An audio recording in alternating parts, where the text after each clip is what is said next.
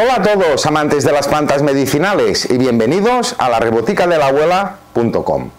En el vasto mundo de la botánica existen plantas que han cautivado la atención de la humanidad a lo largo de siglos, ya sea por sus propiedades medicinales, su belleza o sus fascinantes historias que esconden. Entre ellas se encuentra la Bacharis trimera, es una especie que ha sido objeto de interés tanto por sus beneficios para la salud como por las leyendas que, la rodean. Es una planta nativa de América del Sur, su presencia se extiende bueno, por gran parte de la selva amazónica y las zonas tropicales de Argentina, Paraguay, Uruguay. En este vídeo veremos qué tipo de planta es, cómo cuidarla, sus beneficios para la salud y muchas cosas más.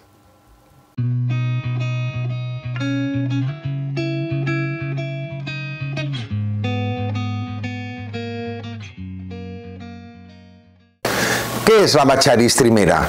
Bien, la Bacharis trimera es también conocida como carqueja, que es el nombre más, más común que se le da. Es un arbusto perenne que se caracteriza pues bien por sus hojas, como podemos ver, lanceoladas, y pequeñas flores que pueden ser bien o blancas o amarillas y se agrupan en inflorescencias.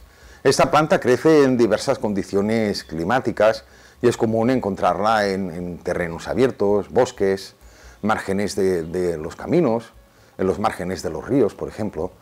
¿Cómo se cultiva la Bacharis trimera? Bien, el cultivo de la carqueja es eh, relativamente muy sencillo, ya que es una planta que es muy resistente y se adapta muy bien a, diversas variedades de, condiciones climáticas.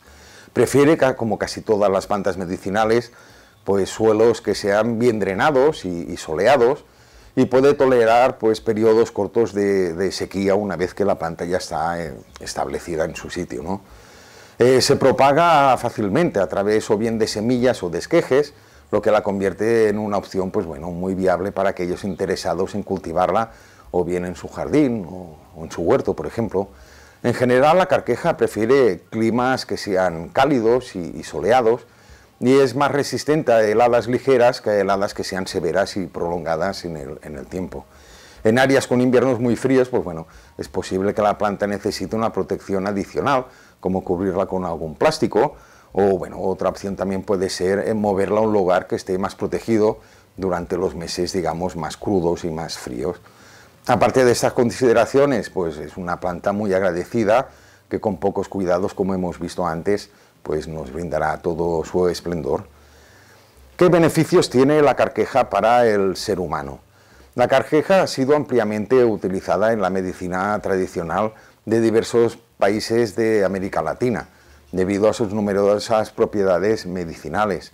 Eh, los beneficios que más podríamos, digamos, destacar, pues sería que tiene una acción hepatoprotectora, esta es sin duda, pues bueno, de la carqueja la, propiedad más destacable y es que bueno, la carqueja es conocida por su capacidad para proteger y fortalecer el hígado y ayudando pues bueno, en el tratamiento de enfermedades hepáticas como puede ser la hepatitis, la cirrosis.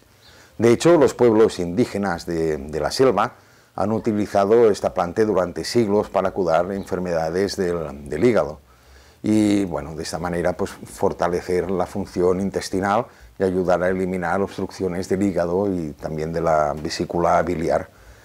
Tiene propiedades digestivas, eh, favorece la digestión, alivia la acidez estomacal y combate, pues por ejemplo, el estreñimiento, por lo que es muy aconsejable tomar una infusión de esta planta después de comidas que han sido muy generosas o copiosas para favorecer pues, bueno, una buena digestión y evitar los típicos signos de, una digestión, digamos, pesadas. Tiene también eh, un efecto diurético y de esta manera pues, bueno, ayuda a eliminar toxinas del organismo a través de, la orina y de esta manera pues, bueno, se contribuye a la desintoxicación del cuerpo. Tiene propiedades antiinflamatorias y alivia dolores articulares y musculares, así como síntomas de enfermedades inflamatorias, como podría ser, por ejemplo, la, artritis. Por lo que, bueno, es muy aconsejable tomar durante unos días infusiones de carqueja después de haber realizado un esfuerzo físico que haya sido intenso. Y esto, pues bueno, eh, nos va a prevenir el sufrir las típicas agujetas o las tensiones dolorosas en, los músculos. Tiene propiedades antidiabéticas, eh, contribuye a regular los niveles de azúcar en sangre y bien, esto es muy útil en el tratamiento de la diabetes, sobre todo la de tipo 2. ¿Cómo podemos tomar la carqueja?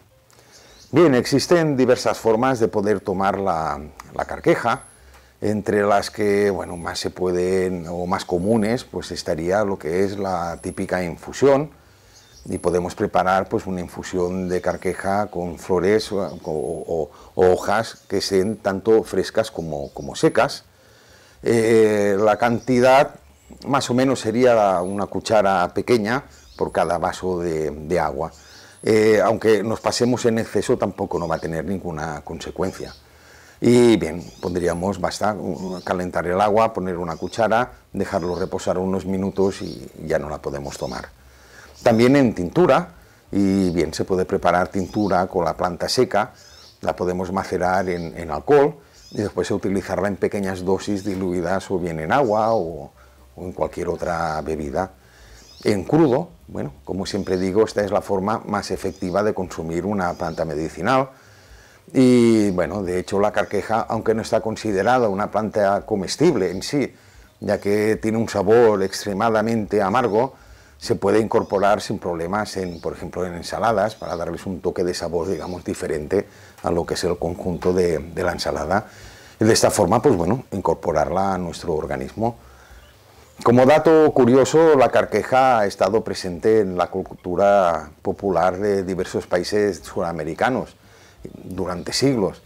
Se dice que, como dato curioso, que los indígenas de la región pues, utilizaban esta planta no solo por sus propiedades medicinales, sino también por su conexión con el mundo espiritual. Y se cree que bueno, la, carqueja posee poderes mágicos y protectores, y que su presencia, eh, por ejemplo, en el hogar, pues aleja las malas energías, por lo que eh, es muy común en las casas, eh, que se ha utilizado durante siglos, casi digamos que es una, obligación tener la presencia en las puertas de, las entradas a las casas para, bueno, de esta manera, pues alejar a los malos espíritus y, poder experimentar una vida llena de paz y, armonía. La Bachari Strimera, con su rica historia, sus beneficios que hemos podido ver para la salud y sus leyendas intrigantes, que hay muchas más, simplemente he mencionado una, pues sigue siendo pues, una planta digna de estudio y de admiración en el mundo de la botánica. Su amplio uso en la medicina tradicional pues, demuestra su valor como recurso natural para el bienestar humano, mientras que sus historias, pues, bueno, que se han transmitido de generación a generación, pues nos recuerdan la profunda conexión que existe entre la naturaleza y la cultura. Bien, amantes de las plantas medicinales, recordad que conectarnos con la sabiduría de la naturaleza a través de las plantas es un recordatorio constante de la belleza y el poder curativo que nos rodea.